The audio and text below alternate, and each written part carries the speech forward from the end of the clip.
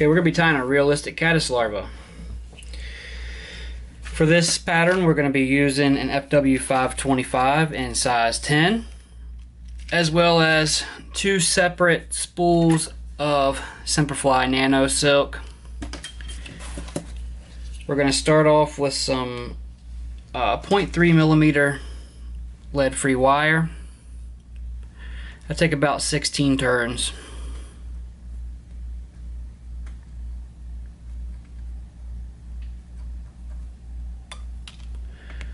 Snip that free there, break it free, whatever. Then we're going to use some woolly nylon. This is a serger thread. It wasn't originally made for fly tying, but it makes an amazing underbody. Just going to lay down a little underbody here.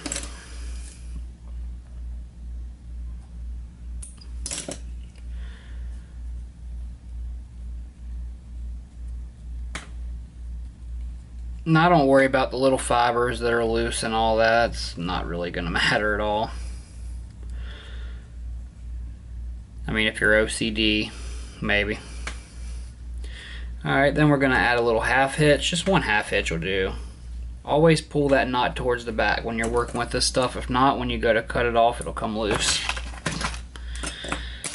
Alright, then we're going to grab our nano silk here and we're going to go all the way to the back. I like to go all the way to the back. I guess you don't have to, but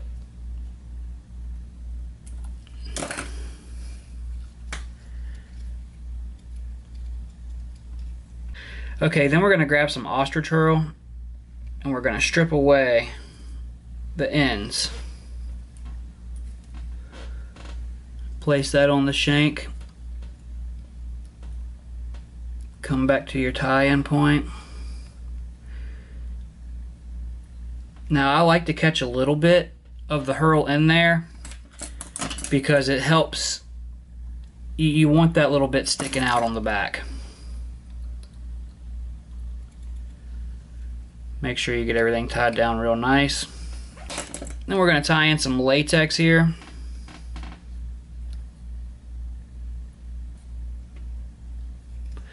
Then we're going to set our bobbin to the side. Then we're going to grab our other Semperfli Nano Silk and we're just going to tie that in.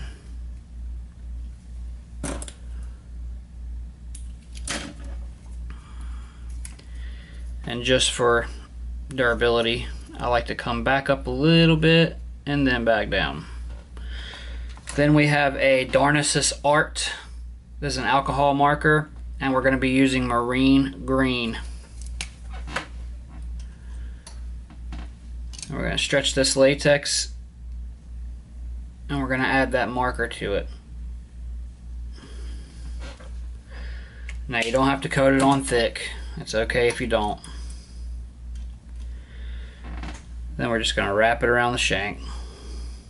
And for these rear wraps, you want to pull it a little tighter and then you slowly let off the tension as you go up the shank and it's gonna it's gonna like thicken the latex and when it's a little thicker you know it gives it a good it gives it a good uh, body look to it. You want it to have a nice taper. Alright and then when I start coming towards the eye I start tightening it back up just a little bit. Then when you get about a half of a hook eye back pull it, tie it in. Stretch it real tight and pop it off. And we're going to even all this up and I come right up to the latex and even a wrap or two over it. Now we're going to whip finish. Now this part, you know, you don't have to put head cement or anything like that on it because it's going to be covered in resin by the time it's over. So now we're going to come between the ridges and we're going to catch this herl with each wrap all the way up the shank.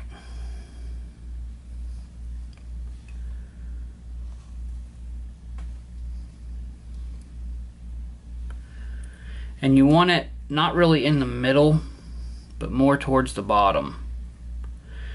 Now, if you were doing this as a waxworm pattern and you were using thread, then you could put it in the middle. But you're going to do it on the bottom half, just a little bit on the bottom half. This pattern's actually very simple. I know it kind of seems a little complicated, but it's really not. It looks like it would maybe be hard to tie, but once you tie a couple of them, you realize it's actually pretty easy. I find it easier to grab from underneath and then come around. Alright, now when you get to this part, we're on the last turn of latex here. So I'm going to make one more turn around and then I'm going to pull these fibers back all the way back and then we're going to create an even turn. Now normally when you're wrapping this you know your latex is naturally going that way but don't go with the latex go over top of it and make a straight turn of thread and get as close to that latex as you can and snip the excess blow away any wayward fibers. Now don't worry about this back part yet. I'll just leave it there. And we're gonna grab some golden pheasant center tail.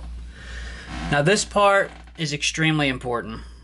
You wanna you wanna grab from the right side of the feather and the left side when you're looking at the front of the feather. The right side goes on the right side of the bug, the left side goes on the left side. You're gonna grab it and you're gonna pop it and it's to make a claw.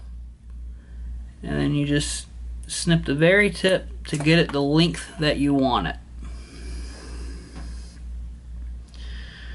Then we're just going to tie those claws in. Now when doing these, tweezers are your friend. In my opinion anyway, I love to use the tweezers because it just makes it so much easier. And again, we're just going to do this all the way up all the way up the shank until you reach the eye. We're going to put six legs on it. So I tie these on the top and then I turn my vise because if you don't turn your vise there won't be enough thread and the leg will fall off when you go towards the bottom. As long as you add a little turn of your vise you should be fine. I take one or two securing wraps and then I push them back. You're not going to hurt the legs, don't worry about it. Then you're going to come forward in the ridge that you created earlier with the latex, and you're going to come to the very end of the latex. Now again, we're going to repeat those same processes. And the reason you pull from the right side and the left side is because that claw, you want the claw part to be on the bottom. So make sure you're pulling from the right side and the left side. It has to correspond with which side it goes on. If not, then your feet will be upside down and it'll just look weird. And I do fish these. These are not just for looks. I mean, I fish them and they are very, very good.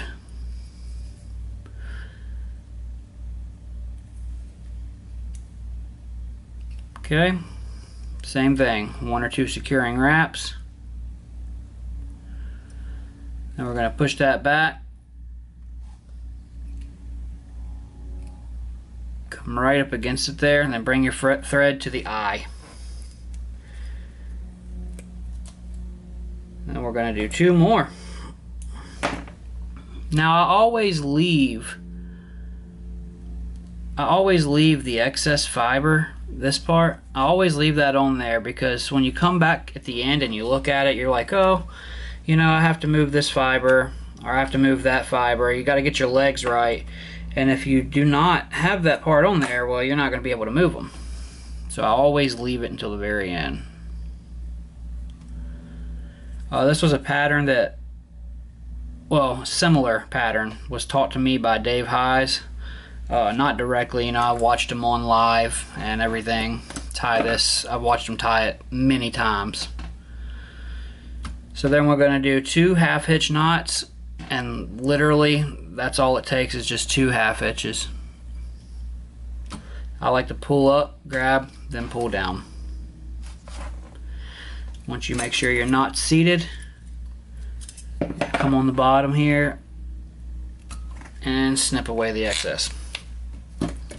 Okay, so then I'll come through with my tweezers and I'll just make sure everything is seated where I want it. Once I think that it does look good, then I'll cut away the excess. Now be careful with this part because it's nerve-wracking when you snip a leg off doing this. I mean, it's not that big of a deal, but you know, it is a little frustrating. Alright, once you get that part done, you can always come back if you want with a thread burner and burn the little excess parts. I don't worry about doing that. Then we're going to grab some Semperfli UV resin, in which I already have a little puddle over here. And I like to use these little Q-tips. I always have a wet one and a dry one. And I'll show you why here in a minute. So first off, I get my legs where I want them. And I do this individual. I put one on, put a little dab of resin on each leg, and I put it where I want it.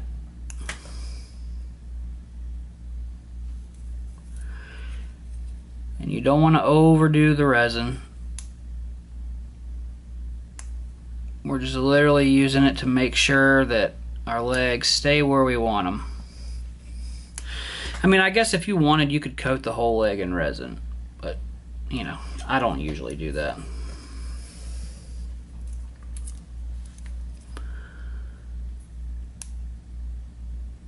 Now for brook trout, I like to put the legs more out to the side for me, I think it's a little easier that way. Native trout, you definitely want it to look more realistic. So you'd put them more towards the bottom instead of on the side. See right there, I got a little bit of excess resin. No big deal. I just hit it with the dry one. Once your legs are where you want them, you hit them with that resin. Okay. So now that you got that, we're going to use another one of the Darnassus Art blacker, uh, markers. This is special black. And we're going to paint this a little bit here. But we're also going to brush these hairs back, the fibers, which are the gills, if you will. use this part actually. Just brush them down a little bit, just kind of get them out of the way.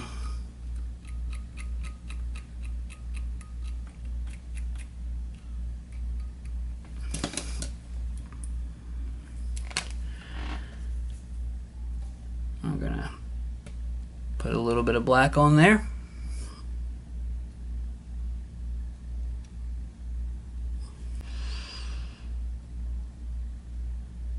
I like to come back and right on top of the ridge, like two or three ridges back. I don't go too far with it. And then I also hit the bottom just a little bit, but I don't come back as far on the bottom. Right?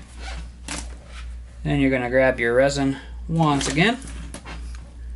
And first spot I like to do, I like to put it a little heavy up against the eye there on the head because if not it's like a dip there because the latex is obviously thicker than the thread. I always secure my marker first.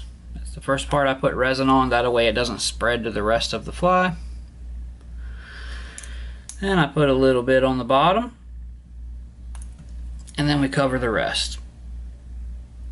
Now putting this on here really makes it makes that green underbody pop out. Now you could have colored the outside of the latex green if you wanted, but it just gives it such an unnatural look if you ask me. Hit it with the light, laser, whatever you got.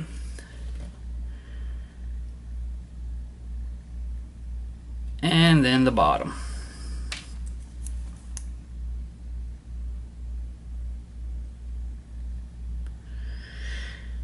And now at this point, the fly is pretty much done, but I do like to take it one step further and angle. I like to add a little tiny bit of angle towards the rear of my herl. I just think it gives it that extra little bit of pop.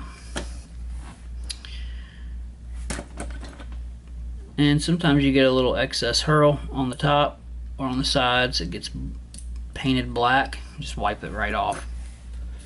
And that's it. It's a very effective pattern and it's actually pretty simple. And a lot of people will brush this herl down like that. But once it gets wet, it's going to brush down anyway. So there you have it. I hope everyone's enjoyed this, and I hope you all have a great day. Thanks.